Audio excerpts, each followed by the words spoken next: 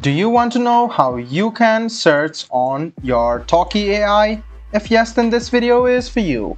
Hello and welcome to AI Basics. It's your host back again with yet another interesting tutorial video. In this video, I'm going to teach you how you can search or give commands on your Talkie AI website.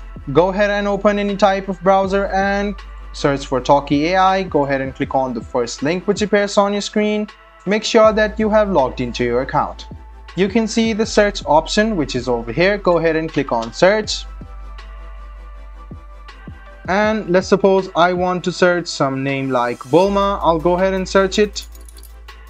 And you can see the Bulma AI is here. Now you can start hey talking to it. I'm Bulma. Let me give you another example. Once again go to talkieai.com and log into your account. Then on the left hand side you can see search. Go ahead and go to search and you can search the name of the characters which is over here.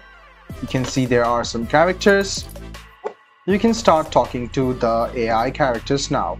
So guys this is how you search on your Talkie AI website. I hope this video was helpful for you. If you still have any kind of confusion please do mention us on the comment section down below. Like the video subscribe to the channel and do hit the bell button for more Hope to see you in the next video as well. Until then, goodbye, take care and make sure you enjoy.